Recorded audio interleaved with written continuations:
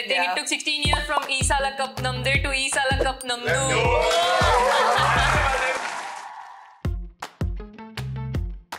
What's the number one challenge that you had to face as a female cricketer? Only an RCB fan understands true disappointment and loyalty at the exact same time. But so, uh, where are your trophies? I mean, They ask you how you are, and you just have to say that you're fine when you're not really fine. This season is also the maximum number of sixes. I mean, sixes are going like, I mean, so easy. Everyone is hitting so big.